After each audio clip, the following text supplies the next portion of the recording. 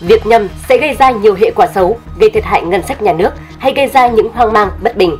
Bản tin toàn cảnh tối nay sẽ xoay quanh từ khóa nhầm về các vấn đề thời sự nóng nhất trong ngày. Là những cán bộ đứng đầu và nằm trong diện quy hoạch. Thế nhưng, vì vụ lợi nên các bị can tại văn phòng tỉnh ủy tỉnh Hòa Bình đã có những can thiệp trong quá trình thực hiện dự án đấu thầu, gây thiệt hại lớn cho ngân sách nhà nước. Việc đề nghị truy tố ông Nguyễn Đồng, cựu tránh văn phòng tỉnh ủy được đưa ra dựa trên kết luận điều tra từ công an tỉnh Hòa Bình.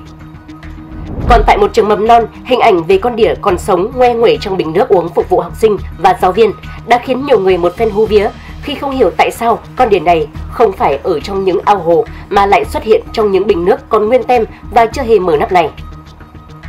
Trong khi đó, công ty sổ số Bình Dương phải đưa ra lời xin lỗi vì đã phát hành vé số Insight một sự kiện lịch sử quan trọng.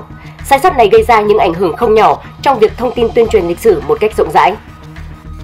Một lời xin lỗi khác đến từ Campuchia vì đã để xảy ra sự cố đáng tiếc trong lễ khai mạc SEA Games 32 khi trong ngược cờ của Việt Nam, Indonesia và Myanmar.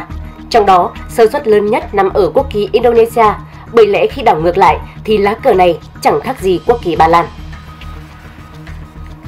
Tôi là Cẩm Tú Tôi là Phước Nhật Tôi là Quang Huy và đây là Sinh nhật 20 giờ Bản tin đầy đủ sẽ công chiếu lúc 20 giờ tối nay. Quý vị đừng quên bấm nút chuông ngay trên màn hình để nhận thông báo và cập nhật những tin tức nóng hổi nhất, những câu chuyện cuộc sống đáng chú ý nhất cùng xem nhanh 20 giờ.